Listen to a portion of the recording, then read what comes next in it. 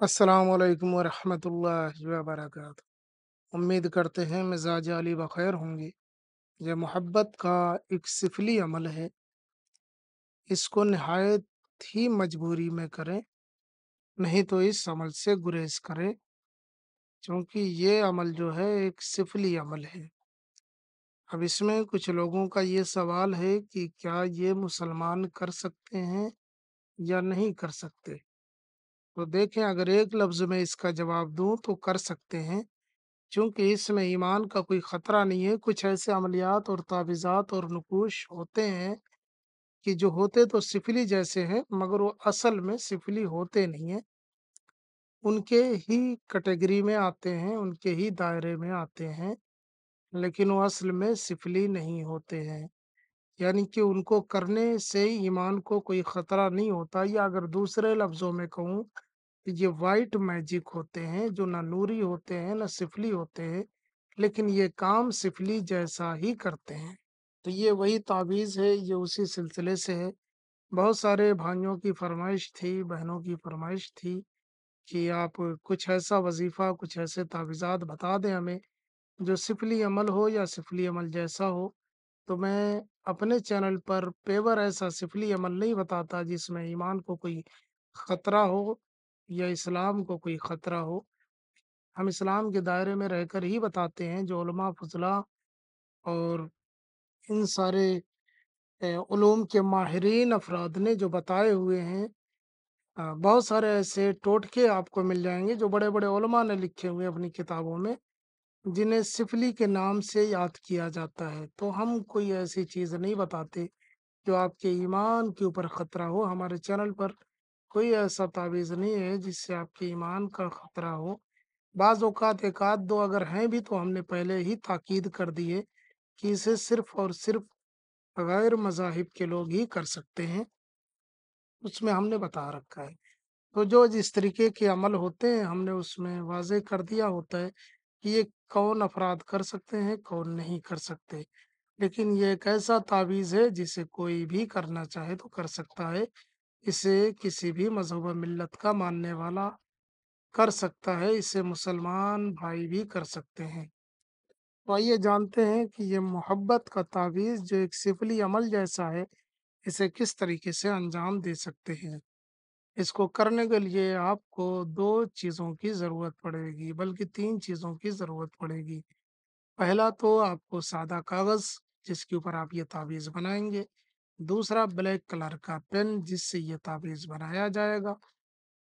तीसरा मिट्टी का एक घड़ा, घड़े या सुराही जिसे बोलते हैं घड़ा या सुराही मिट्टी का होना चाहिए जो इससे पहले इस्तेमाल ना किया गया हो। इस तरीके से घड़े बने होते हैं मटका, घड़ा, सुराही बहुत सारे नामों से उसे याद करते हैं, गागर वगैरह भी बोलते हैं। या अपनी-अपनी ज़ुबान, अपनी सभ्यता और अपना कल्चर ये सब के ज़ुबानों में अलग-अलग हो सकते हैं। मिट्टी के बर्तन जो घड़े की शक्ल में हो इस तरीके से जैसे कि ये तावीज़ बना है, छोटा हो, बड़ा हो, एक मटकी, मटका जो भी आपको मिल जाए वो आप ले लें जिसका मुँह बना हो। ज़रूरी नहीं है कि इतना ऊँचा हो, थोड़ा बहुत भी उसके ऊपर उभार हो, जैसे पतीली की तरह बर्तन जो पतीलियाँ हो हमारे घरों में होती हैं उस तरह भी अगर थोड़ा-सा उभार है उसके मुँह पे तो भी मिटके में आ जाएगा। कोई एक छोटा-बड़ा कोई भी ले लें और इसके बाद किसी भी दिन आप इस तावीज़ को सादे कागज़ पर ब्लैक कलर के पेन से बना लें।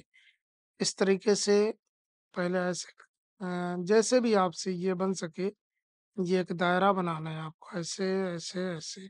जैसे भी मान लीजिए मैं बताता हूँ आपको ऐसे लेना है, ऐसे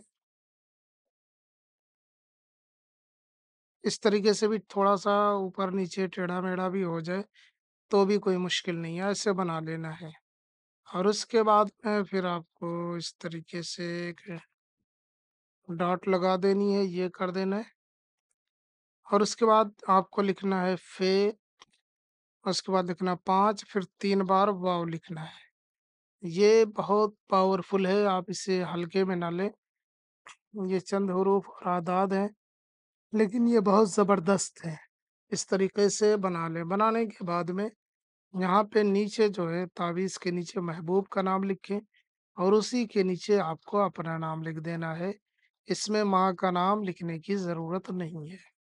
और उसके बाद में आप ये तावीज़ बनाने के बाद में इस तावीज़ को फ़ोल्ड नहीं करना है। जिस पेपर पे बनाना है, छोटे पेपर पे बनाएँ।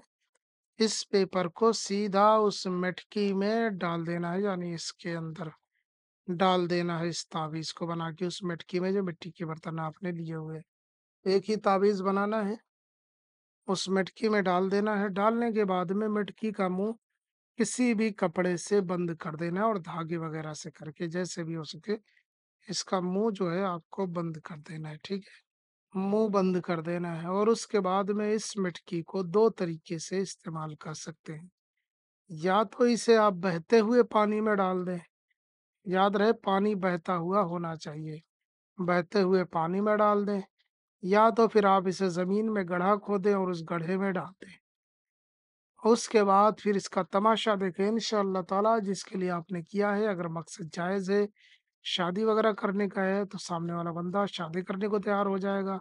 उसके दिल में इतनी मोहब्बत पैदा हो जाएगी कि उसका रहना मुश्किल होगा और या हस्बैंड वाइफ़ के लिए करना चाहें एक-दूसरे में प्यार मोहब्बत के लिए तो भी कर सकते हैं या किसी अजनबी शख्स के लिए करना चाहें, तो भी कर सकते हैं। इस अमल की इजाज़त सबको है, जो करना चाहे कर सकता है।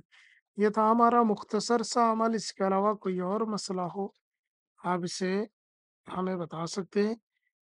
एक तो ये कि पानी में डाल दें, दूसरा ये इसे ज़मीन में गढ़ा खोदे और गढ़ा खोद के ज़मीन में दफ़न कर दे कहीं पे भी, किसी भी जगह ज़मीन में गढ़ा खोद के दफ़न कर दे ये दो सूरतें हैं इसको करने की, ये कर ले इंशाअल्लाह ताला कामयाबी आपके कदम चूमेगी। हम मिलते हैं किसी और वीडियो में, इजाज़त दें। अस्सलामु अलैकुम व रहमतुल्लाह।